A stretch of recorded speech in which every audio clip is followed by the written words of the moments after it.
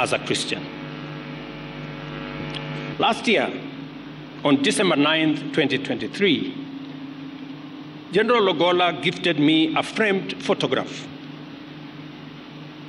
On one side was a Bible verse from the book of Isaiah, chapter 41, verses 10, presented in beautiful calligraphy that read, and I quote, Fear thou not, for I am with thee.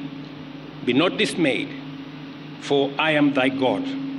I will strengthen thee, I will help thee, I will uphold thee with the right hand of my righteousness. End of quote.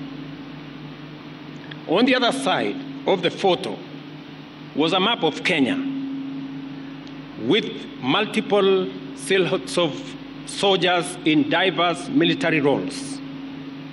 It was a thoughtful gift that embodied General Ogolla's personality as a patriot, a gallant general, a Christian, and a visionary leader.